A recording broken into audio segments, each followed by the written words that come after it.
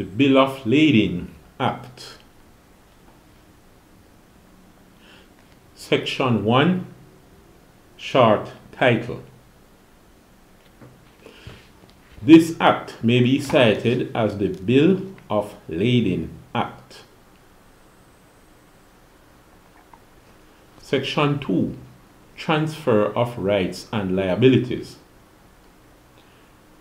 Every consignee of goods named in a bill of lading and every endorsee of a bill of lading to whom property in the goods therein mentioned shall pass upon by reason of such consignment or endorsement shall have transferred to and vested in him all rights or suit and be subject to the same liabilities in respect of such goods or if the contract contained in the bill of lading has been made with himself. All right. Section 3 Preservation of Rights. Nothing herein contained shall prejudice or affect any right of stoppage in transitu or any right to claim freight against the original shipper or owner or any liability of the consignee or endorsee by reason or in consequence of his being such consignee or endorsee or of his receipt of the goods by reason or in consequence of such consignment or endorsement. So nothing herein contained shall prejudice or affect any right of stoppage in transit or any right to claim freight against the original shipper. All right. Section 4 Bill of lading conclusive evidence in certain cases. Every bill of lading in the hands of a consignee or endorsee for valuable consideration representing goods to have been shipped or broad a vessel.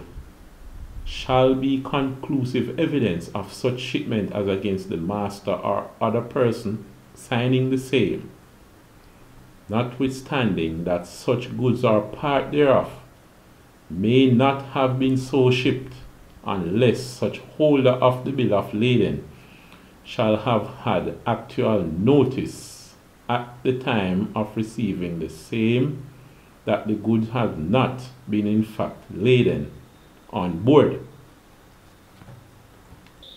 I had looked for the meaning of lading and it means to load a vessel such as a ship. All right, so let's look at three again. Nothing herein shall prejudice or affect any right of stoppage or any right to claim freight against the original shipper or owner. I guess whoever is to receive it, they have the right to stop or cancel the contract to ship. I guess maybe that's what it means. Or any right to claim freight against the original shipper or owner. Or any liability of the consignee or endorsee. Alright, so whatever they are owed, somebody ships something to you, they have a right to receive money from you.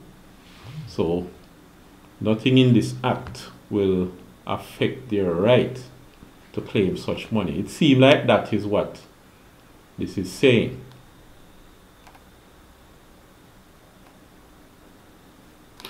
All right. To, to claim freight against the original shipper. Okay.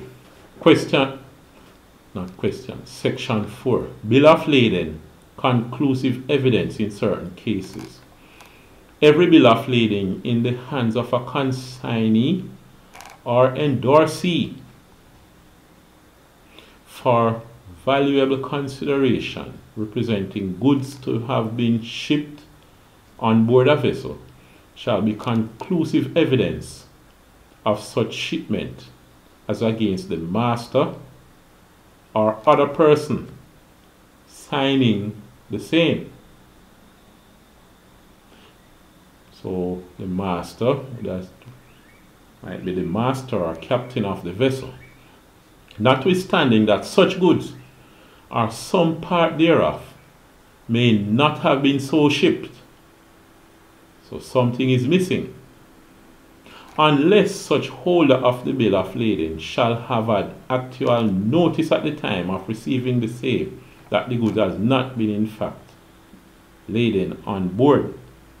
So every bill of lading in the hands of a consignee for valuable consideration representing goods to have been shipped shall be conclusive evidence of such shipment.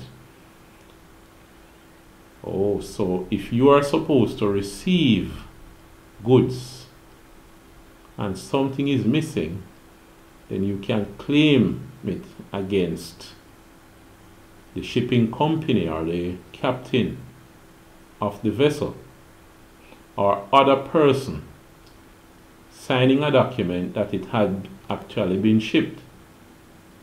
But if you had noticed that such a part is missing,